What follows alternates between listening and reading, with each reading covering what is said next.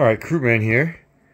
Guys, I'm finally going to start building my budget 1440 PC rig. So I'll, I'm going to try something different this time. I'm going to show you how I build it. Uh, I'll do some cuts so you'll just see me like with the part actually in and then I'll go over what was on, you know, what I did and if anything interesting happened or if I had any difficulties. So I'm going to go ahead and pause this the next time you see it I'm going to have the power supply and the motherboard in. We're going to go now. Well, and let's talk about the case. Um, and let me talk about my opinion on cases for budget builds and what you should do. So this is an NZXT case. Uh, I think it's an H, the, the larger one. I actually don't even know the model. So how I got this is I have a buddy who owns a PC shop and people come in all the time and sell them, you know, they sell them their PCs and you can't exactly ship these things or they're not worth it. So, you know, I have him on the lookout and I say, if you get a good case, let me know. Something's better than scrapping it. So he called me, he said he's just got a PC. And I said, what kind of case? He said, NZXT. And I said, how much? He said, 20 bucks. So that leads me to my point about buying cases, right? You, you don't even need a case, theoretically. I will be posting a video probably the next week or two of my one of my PCs that actually is just on an open airframe. It doesn't even have a case. I don't think it needs one and I won't get one. And I digress. Um, you can literally go to any PC repair shop, any kind of technology place, and you can just ask them, like, hey, do you have any cases lying around and what will you sell them for if you want a case? And you would be surprised what you could find. You know, you might have to go more than once, you might have to be lucky, but you know, in these budget builds, every penny counts. And I think this thing goes for, you know, like 100 to 120 on eBay or any other sites that don't, you know, and you hope they offer free shipping. So, you know, that $80 difference in, in terms of this build was the motherboard and the RAM and the CPU. Um, obviously, not everybody's going to get things for that cheap, but, you know, every little bit counts. And all you have to do is give a case a little bit of TLC and it's good to go. And, you know, case screws are easy to get. Uh, as you can see here, I literally have bags full of them. So, you know, coming an incomplete case is not a big deal. But that is how I would shop for cases. So I have well. the motherboard and CPU just screwed in. Um, so I wanted to take this time to explain the motherboard and the CPU and the cooler and why I chose them. So I chose a Ryzen 5 3600. Um, when I was mapping out this build and what I thought I wanted to do, one of the things I was looking at is what is the cheapest AM4 or Intel socket that is PCIe Gen 4. And the 3600 actually supports Gen 4. And that's one of the big things you, you need in a CPU right now, I think, especially with my target, which is 1440p gaming. So I'm not as heavily CPU bound. Um, so full disclaimer, I you know I was planning on trying to spend about 50 to 60 bucks for one, maybe 70, but probably like in the 50 to 60 dollar range to be quite honest with you. I came across a bargain where I found one with two broken pins for $25 and I repaired them. Now, I will say that, you know, this isn't something that just anybody can do. I personally think a lot of people could do it if they wanted to, but there are plenty of reasons why people could not do it.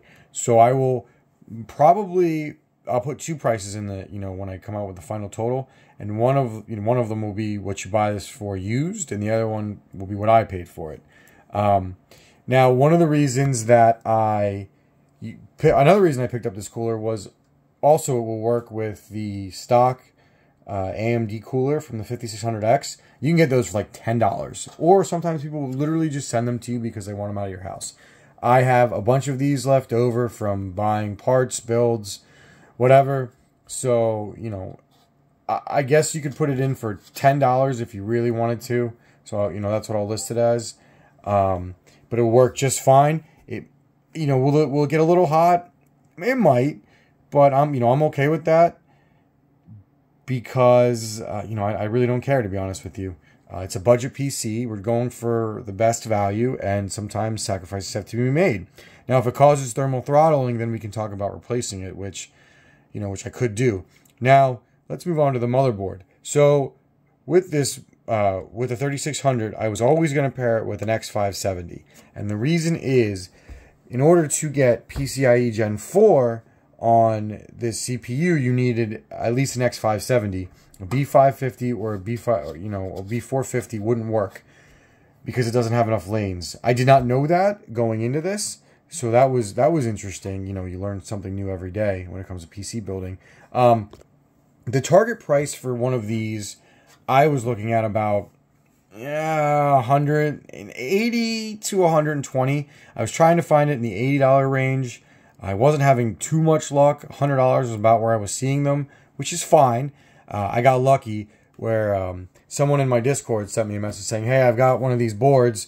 Um, this thing, the um, the the bracket to secure it is a little loose, so I'll sell it to you for 50." And I said, "Sure, uh, not a problem." Now, I would recommend anybody buying something like that if they could get you know a price reduction on it, um, because that's an easy fix. Honestly, you just slide it in and you screw it in really really tight, and if you have to, you buy a CPU bracket or you buy a GPU mounting bracket. So I would very, very much recommend trying to find things like, or like if they say, hey, there's like a bent pin down here somewhere where you could easily fix it.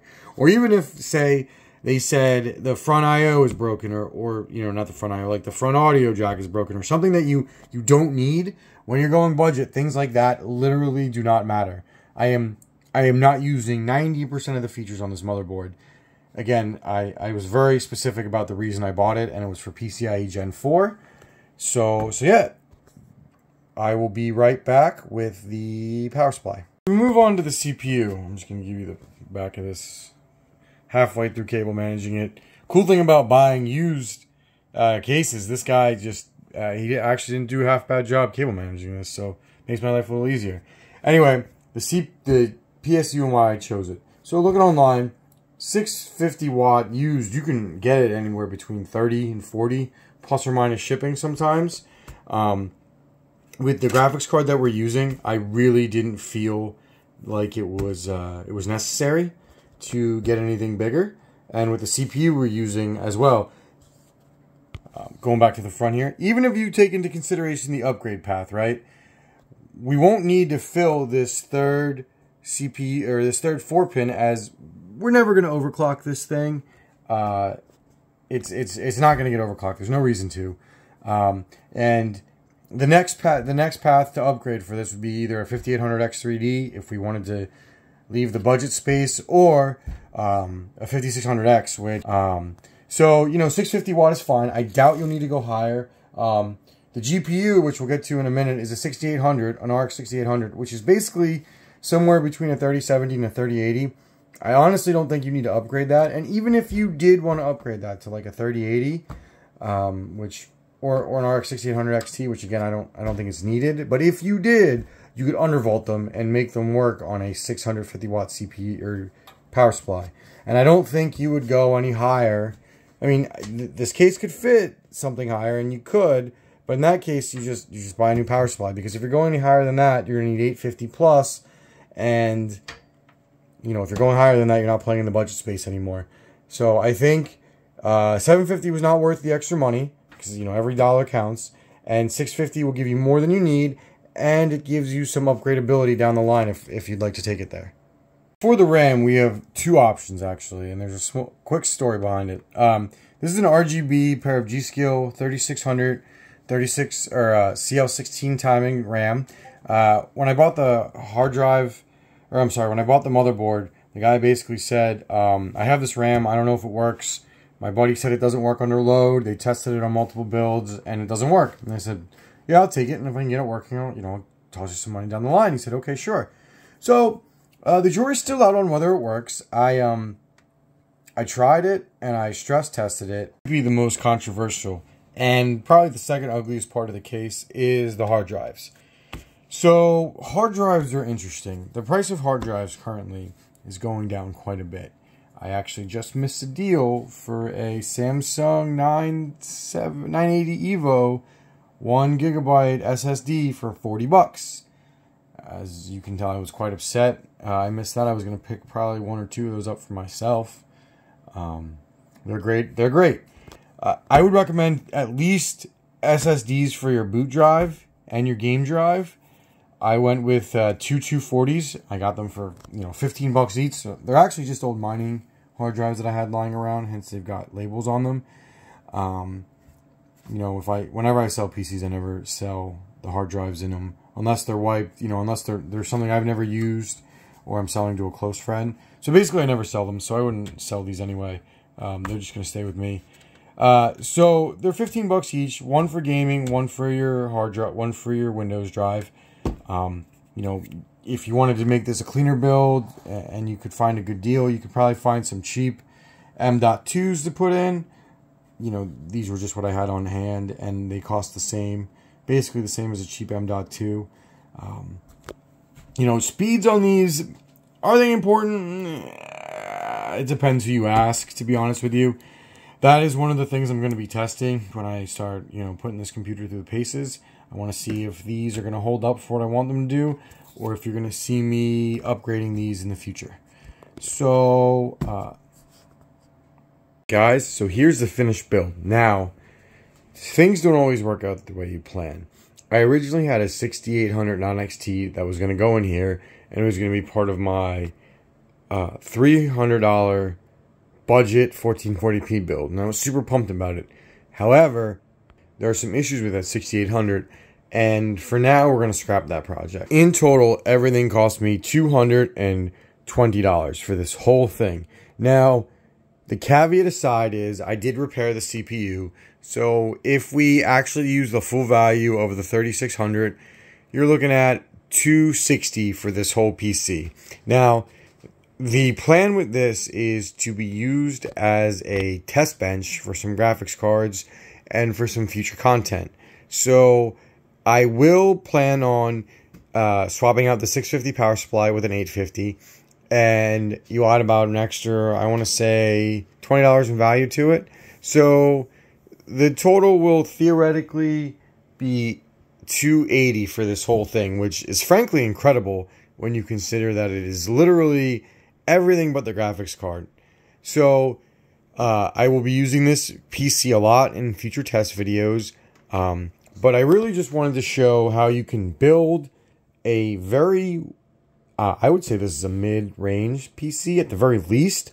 Uh, it is easily upgradable to swap the um, the Ryzen 3600X, which I valued at $60, $60 to $65. You can swap this out with a 5600X for, let's say, 110 and you have yourself a top-of-the-line gaming PC. I truly believe that the Ryzen 5600X is the standard for gaming PCs when it comes to price to performance to value right now. So anyway, I just wanted to share this build with you, explain to you the choices I made, why I did it, and how it how it came out. Um, I will be using this build as uh, as my test bench in the future, and I will be putting quite a few GPUs on it.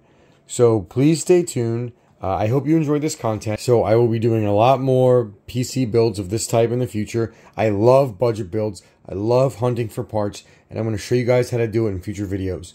So again, please like and subscribe. Krootman out.